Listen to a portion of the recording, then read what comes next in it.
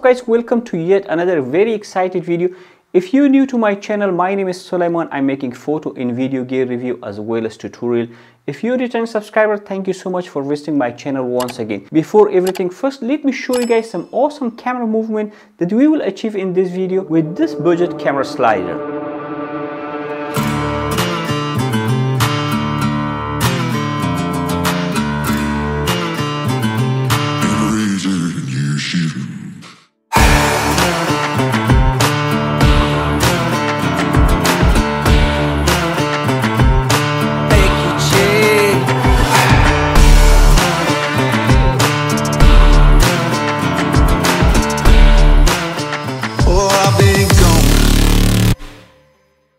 Hope you enjoy the shots and camera movement. Just to make it clear, I didn't use any motion control system like Edelkrone Jib 1 or any robotic arm and neither I use any probe lens in this video. So stay with me till end of this video because in this video I will show you guys behind the scene tips and tricks and how I achieve all those amazing camera movement you just saw without any expensive gear. Thanks to guys on YC Onion for sending me uh, this awesome Hot Dog 3 motorized camera slider. I don't want to talk a lot about YC Onion Hot Dog 3 motorized camera slider because I want you guys to see it in action. If you want to know more about this slider, I will put a link in description of this video where you can find all the technical specification of this slider. This is a very strong one axis motorized camera slider but it has an option to pan left and right. There are lots of slider with such mechanism in the market. I mean a rod in the middle to pan the camera left and right, especially if you want to slide your camera and also track your subject. The rod in the middle is kind of bendable that can help you to keep properly track your subject which is not possible with other slider in the market because they have very stiff rod and not very good for tracking a subject especially if you're close-up or product tracking. The advantage of this little flexibility is that you can really keep your subject in proper framing. But the main winning point of this slider is that you can pair it with your current gimbal so you can mount your gimbal on this slider and it become a 3-axis motorized camera slider. For gimbal compatibility, I will put a link in description of this video so you can go and check if your gimbal is compatible with this slider or not. To be honest, this budget camera slider can do more than what you may think about it. I know mostly people are using slider for some very simple shot like dolly in, dolly out or sliding left and right, which I agree these kind of shot add lots of value to your video as compared to static shots. Sliding left and right with a tracking option is giving a parallax movement but most of budget slider cannot track properly. But this one, it's tracking the subject properly. Let me show you guys an example of how it's tracking accurately which I was not expecting. It's all because of this rod. I will divide this video into five different sections. The first one will be sliding left and right plus tracking. The second one will be dolly in and dolly out without any limitation. Third one will be overhead sliding shot plus tracking. Number four will be inclined vertical position plus tracking. Number fifth will be vertical sliding shot plus tracking. Number six will be faking robotic arm and probe lens. Most of the shots which we will achieve in this video are not possible by mounting a slider on a tripod. That's why I built this awesome rolling slider rig. I built this on a rolling stand and it's very strong and you will see it in action. Sliding left and right and tracking this section is the only section we will be using tripod with our slider. In remaining section we are not going to use any tripod with our slider. All the shots will be done with our rolling stand uh, slider rig which I show you before. Anyways let's start show you guys how to accurately track your subject while sliding left and right. Sliding and tracking is not something new, it's very common function in almost all slider whether they are very expensive or budget slider. But the problem in budget sliders are that when you sliding left and right and you cannot properly track your subject. I tried lots of a budget slider uh, those two axis slider or one axis slider with this kind of rod mechanism all of them fail on properly track the subject when sliding left and right. Mostly they're okay and working fine if you sliding like left and right and tracking a huge uh, object like a car or a building or a person from far away. But in this kind of scenario on a close-up shot or like product shot it's not easy. They are failing on tracking the subject while sliding. The first thing you have to do is first uh, select your subject. For demonstration of this video I put a small object it's a small light stand and I just put two uh, random boxes to show the parallax movement. Right now make sure uh, your slider is center to your subject. Right now my camera is on a center. I attach my camera on a ball head and there's a small knob in this ball head the reason because it's easy for me to pan left and right. Now the first thing you have to do is to make your camera in a center of slider move the slider in a center lock your center move to point A. Once you reach point A then you can again change the angle of the camera. Okay right now now we are in point A losing two knobs in moving this rod and put your subject in center. Right now it's in center.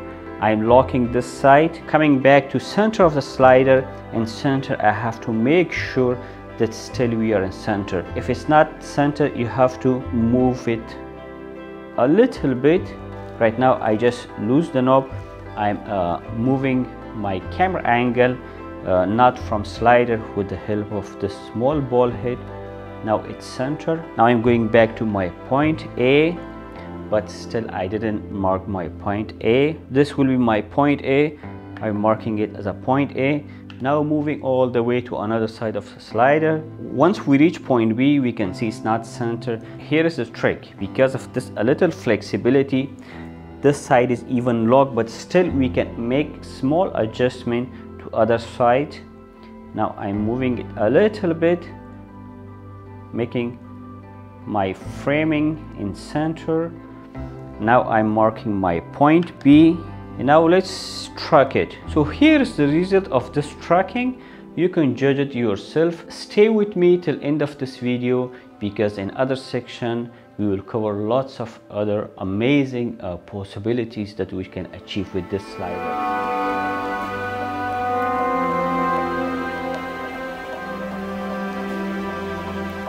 dolly in and dolly out without any limitation. If you have seen one of the shots in start of this video, there was a shot where the camera was like flying over uh, this laptop. So that is a dolly in without any limitation. Right now, if I want to dolly in uh, this camera, I can dolly in, but there's a limitation. Camera cannot go further away from this point because this is the last point. But if I want to move the slider, put it here, still there's a barrier that this uh, camera cannot go more here. Uh, so for this kind of shots we have to see how I am achieving uh, this shot which the camera is almost like flying over. So let's achieve this shot. This is my setup right now. I'm ready to slide in all the way without any limitation. Before that let me tell you guys that this is YC Onion Hot Dog 3. It's 120 centimeter, uh, very long slider. And believe me, it's very strong. These rollers on the top, they are very strong that this can support. If you put a camera up to 8 kilo, it's easily supporting up to 8 kilo so your camera will not fall down so this way let me show you guys how we can uh, slide in all the way the full length of this slider which is 120 centimeter we can slide it in like before there was limitation but now we can slide in without any problem. As if you can see the camera is rolling over the laptop. It's like the camera is flying over the laptop without any problem without any limitation. So now I can easily take advantage of the full length of this slider and I can dolly out the same way without any problem without any limitation. One more thing uh, it didn't mean that you should have the same gears to rig this slider you can come up with your own ideas. The only tip which i'm giving you is that it should be upside down. You can also mount uh, slider upside down on two light stand one light stand on this end and one in this end. But the only problem will be this light stand will be visible to the camera. But with this setup there's nothing here. It's not coming in my shot. Even because I extend the camera a little more down.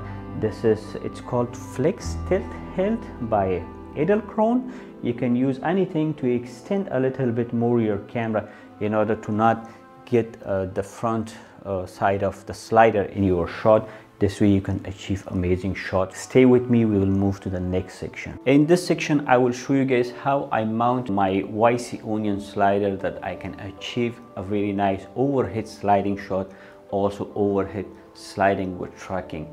So overhead shot are basically those very nice uh, top angle views. You might have seen in lots of video uh, in unboxing video product video if it's a cooking video. Overhead shots are basically uh, top angle views. Like you have to uh, mount your camera this way on a tripod c-stand light stand boom arm. There are lots of ways to mount your camera for overhead shot. But having an overhead sliding shot it's not easy it's complicated even when we are adding tracking to our overhead sliding shot. So stay with me in this section. I will show you how i'm achieving very nice smooth overhead sliding shot with tracking. In previous section uh, in dolly in dolly out you saw that i mount my slider this way for dolly in and dolly out but i made some changes for overhead sliding shot uh, not because of overhead sliding shot because of the tracking. Because if you mount your slider this way which for uh, overhead shot it's easy to mount it on two light stand because the camera will be this way. Uh, so the light stands will not be visible on your uh, camera frame. But the only problem with this orientation is that you will not be able to track the subject while you Uh, sliding your camera. So that's why what I did I move my slider to 90 degree. So in this way I can track my subject while I'm sliding. So let me show you how I achieve this. So first let me show you guys how I make the changes. As you can see here there's a ball head I completely uh, change the whole slider setup to 90 degree. Keep in mind that uh, for attaching your camera to this orientation I mean a 90 degree uh, setup of the slider you need to have a cage. Uh, the reason you need to have a cage because I don't want to put my camera this way. Because I want to move the camera this way it should slide this way. So that's why uh, I have to attach from side of the camera here. Let me attach my camera here. Okay as you can see here it's moving perfectly. Right now I'm selecting my point A. The camera is moving to point A now. Here is I think this is the perfect spot. I will stop here select my point A then coming back to this way and will select my point B once I select my point B. Let's see how was the shot and then we will jump into overhead sliding while truck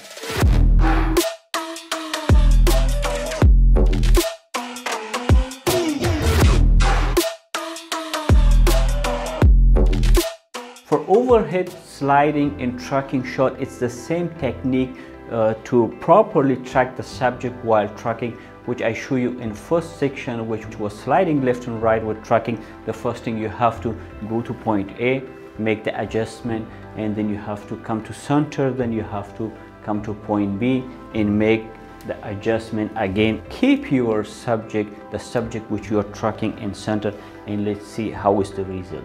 Okay? Yeah i think it's uh, tracking perfectly. If you spend more time on this you can achieve much better result while sliding in tracking uh, subject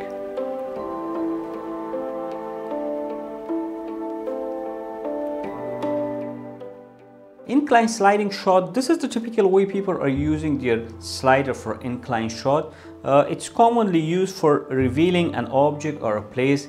We cannot do too much in this uh, position. This is the way people are shooting it. Uh, just for testing, I put uh, KNF uh, ND filter box here to show you guys what we can achieve with this setup. But this section is not about this type of shot. That's why i want to show you guys entirely different way how to achieve very nice incline sliding shot as well as tracking. I mean incline sliding shot and tracking. At the same time when the camera is moving in incline position we can track the subject and we can achieve some very nice and creative shots so let me change the setup, then we will continue the section. I made some modification to my rig. As you can see now, the only difference is that I put it in inclined position. Main changes which I make is I remove this rod from here and attach it here because now it's more stable uh, with having the same rod here uh, because there's too much weight moving uh, on a slider especially in this position it's really throwing off the balance of the slider and it was rotating because the ball head which is attached is not strong enough to uh, hold the weight shift. Now it's time to attach the camera. The same procedure apply here. We have to attach camera from one side. I attach the camera and one more important thing in this setup is that slider should be aligned straight like it should not be like this because when you framing your subject the shot will move out of frame or there will be change in tilt of the camera. So that's why it's very important to keep in mind that it should be leveled properly. First i will go to my end position because it's very important because the shot which i want to achieve is that the camera when it's reaching the end point the product should be completely below. The camera is not uh, looking completely down.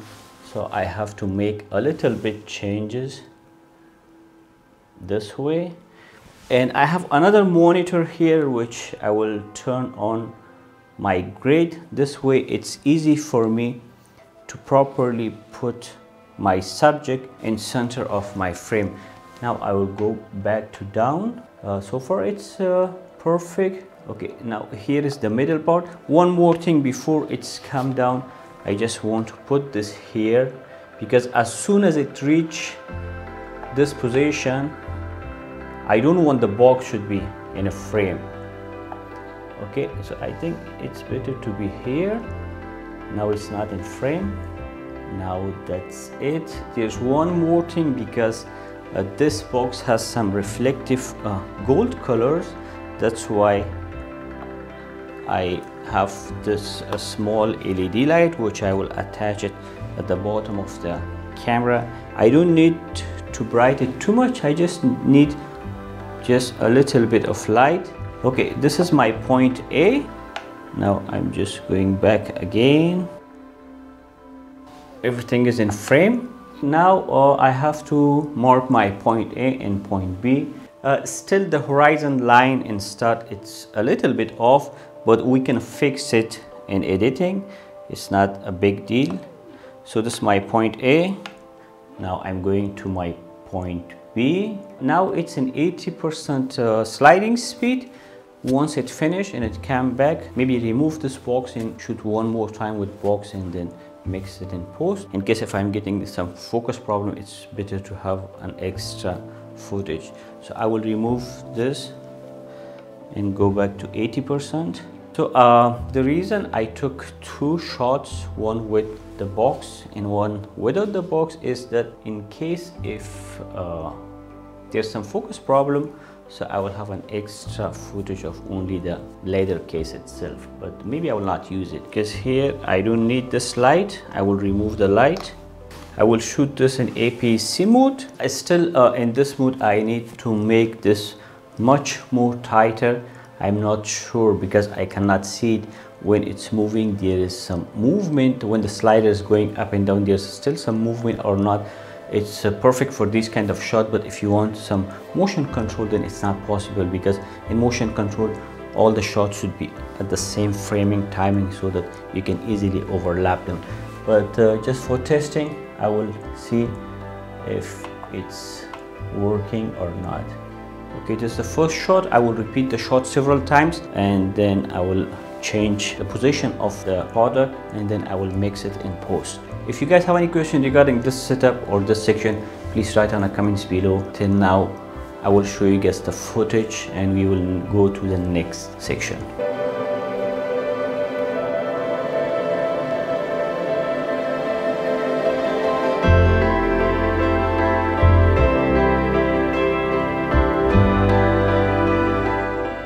In this section, I will show you how I'm achieving those nice vertical sliding shot with tracking. As I said before, with YC Onion, we can easily track our subject.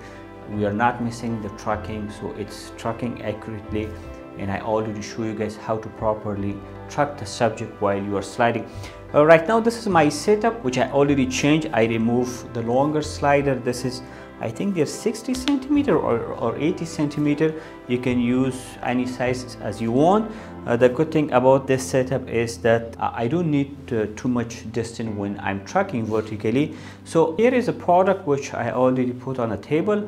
I want to show you guys how I'm uh, achieving some of the shots and I will show you behind the scene. For tracking, if you think that you cannot track properly, you have to go back watch uh, section first where I show you guys how to properly uh, track your subject while you're sliding. For this setup, I'm using uh, Viltrox 50mm 1.8 because it's giving that nice depth of field. I'm shooting in f1. This is my point A and then I will move to my point B. Before going to my point B, as you can see that uh, the subject is in center of the frame. Then I will move to point B, mark my point B, then I will run one or two times the full slide. This will be my point B. Right now it's uh, tracking downward and sliding downward. At the same time, it's tracking the subject is as you can see, it's uh, panning, the camera is panning, panning up and down and uh, the subject is in frame, everything looks uh, perfect. I'm always recommending to shoot in lower speed because you can increase the speed in editing but it's very difficult to reduce the speed in editing especially if you're shooting in uh, 25 or 30 frame per second. So right now it's in normal sliding mode, it's sliding vertically uh, without tracking the subject. Camera angle is not changing, it's going straight up and straight down. With my rolling stand, the good thing is that I can easily change the height of the whole slider. Right now I want to slide it from here. Uh, some close-up shot. So this is uh, the whole setup. Uh, this is uh, my rolling stand, the same stand which I use in uh, other orientation. So the good thing about this rolling stand is that it has true grip and I'm using one of the grip for the small slider. I can easily change the height of this slider without any modification to the legs and everything. So that's very easy. I will shoot some other products and you can see behind the scene in end result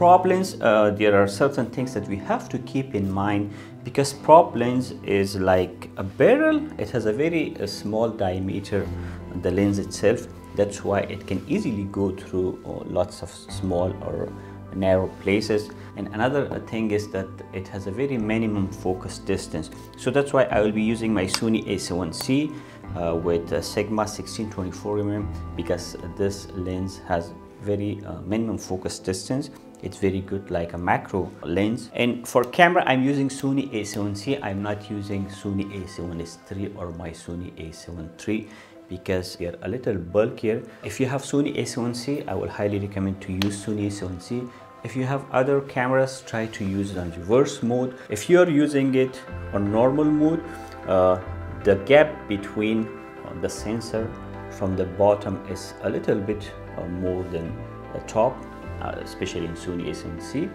If you're using any other full frame camera, then you can use it in normal position.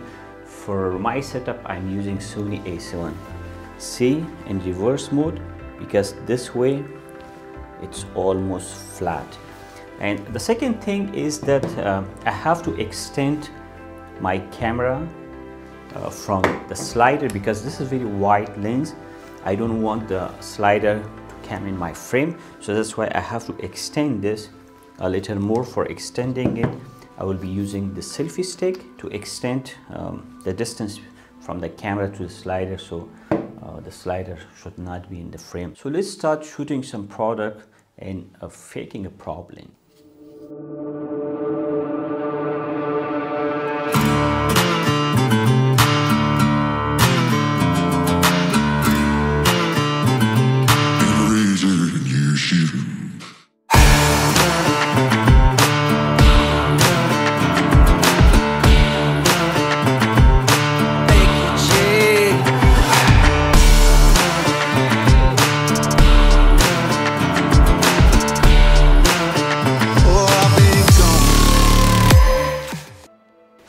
a robotic arm uh, in this section we are trying to fake some sort of robotic arm. I know it's not easy to fake a robotic arm because robotic arm are very expensive equipment quarter million and a million uh, US dollars the price but anyways but we are trying to achieve in this video uh, that how we can mimic the movement of robotic arm the winning point of YC Onion hot dog slider is that we can interlink it with our gimbal. Right now I connected with my uh, Zhiyun Weebill S gimbal. The reason I'm using this gimbal because it's lightweight. I don't want to put lots of weight on my stand because uh, I don't like to fall it down. Anyways, um, the gimbal is connected. There are two ways we can achieve this. Uh, if you have a gimbal which is compatible with YC Onion hot dog slider then you can interlink it. If your gimbal is not compatible with YC Onion hot dog 3 slider or even if it's compatible the, another alternative option which I recommended as compared to interlink system because an interlink system you will not get a very accurate uh, camera movement. But uh, what I'm highly recommending is to try to use your uh, gimbal tracking option like in uh, DJI they have uh, Raven Eye and some other sort of tracking system in Weebill they have a transmission module. You can connect the transmission module to your Weebill S gimbal then you can easily track the subject. This way it's much better and I like it uh, as compared to interlink system but still interlink system has its own uh, benefit. Uh, this way it's very easy and it's not taking too much time but still it depends on which kind of shot you're looking for.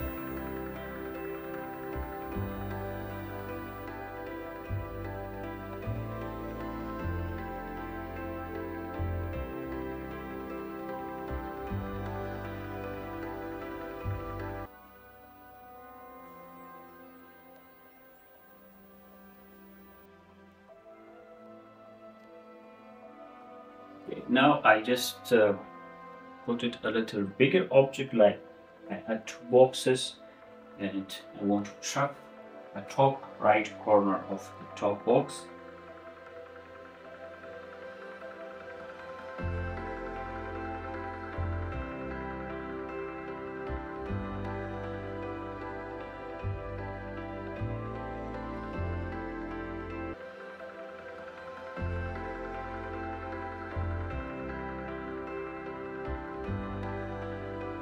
so this was our uh, faking robotic arm. I hope you guys uh, enjoyed it and learned something. If you guys have any questions regarding this section or this setup please write on the comments below. If you guys have any suggestion about this setup or which kind of uh, shot you're uh, taking with your slider i will be happy to share the links in the comments of this video. And i hope you enjoyed this video. If you are not subscribed to my channel yet i will highly appreciate your subscription like the video and press the bell notification in order to be notified on my upcoming videos. See you guys till next video